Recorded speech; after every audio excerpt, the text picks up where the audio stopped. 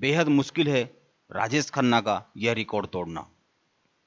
Film जगत में 1969 से 1971 के दशक में लगभग 15 हिट फ़िल्में देने वाले अभिनेता राजेश खन्ना का रिकॉर्ड आज भी बरकरार है। यहाँ पेश है उनके जीवन से जुड़ी कुछ बातें। 1966 में रिलीज़ हुई फ़िल्म आखिरी खत से बॉलीवुड में कदम रखने वाले अभिनेता ने अपने फिल्मी कैरियर में 160 फीचर फ़िल्म और 17 लघु फ़िल्मों में काम किया। तीन बार अपनी बेहतरीन अदाकारी के लिए फ़िल्म फेयर के सर्वश्रेष्ठ अभिनेता का पुरस्कार जीतने वाले राजेश खन्ना का जन्म 29 दिसंबर 1942 में अमृतसर में हुआ था। राजेश को उनके जैविक माता पिता के रिश्तेदार चुन्नीलाल खन्ना और लीलावती खन्ना ने पाला पोसा। उनके असली माता पिता का नाम लाला हीरानंद और चंद्रानी खन्ना था। सेंट सेवरिस्टन गोवा हाई स्कूल से जितेंद्र के साथ स्कूल की पढ़ाई खत्म करने के बाद राजेश ने थिएटर का रुख किया। अपने स्कूल और कॉलेज के दिनों में उन्होंने कई नाटकों में अपने अभिनय के दम पर पुरस्कार भी जीते।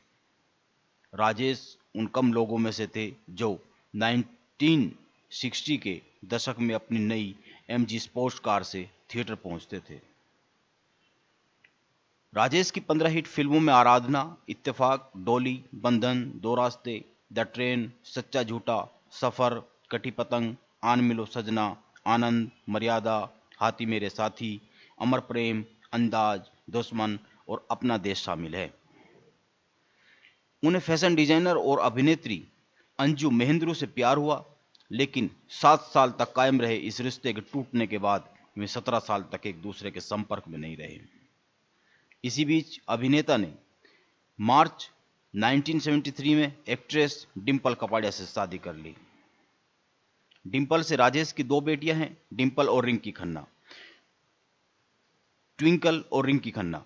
ट्विंकल ने भी फिल्मी कैरियर के दौरान कई सफल फ़िल्में की और बाद में अभिनेता अक्षय कुमार से शादी कर ली। रिंकी को फ़िल्मों में उतनी सफलता हासिल नहीं हुई। ज़िंदा दिली की पहचान रहे अभिनेता राजेश ने राजनीति में भी हाथ आजमाया। जून 2012 में राजेश की तबीयत बिगड़नी शुरू हो गई। 23 जून को उन्हें लीलावती अस्पताल में भर्ती किया गया। हालाँकि स्वास्थ्य ठीक नहीं होने के कारण उनको हॉस्पिटल में रखा गया। 14 जुलाई को एक बार फिर अस्पताल लाया गया। इस महान अभिनेता ने 18 जुलाई 2012 को अंतिम सांस ली।